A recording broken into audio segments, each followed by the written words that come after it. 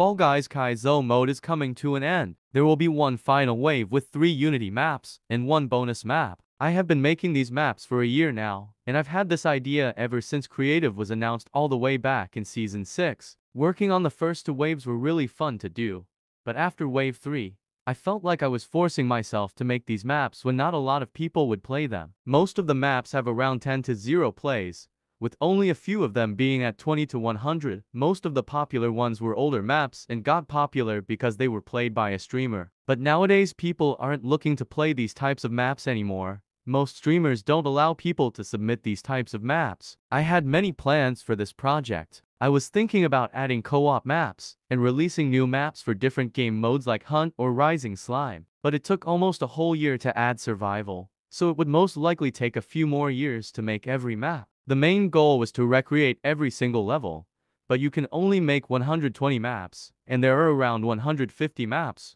combining Unity and Creative. I'm not sure when I'll be releasing this next wave, but I would expect it sometime this month. Goodbye Fall Guys Kaizo mode.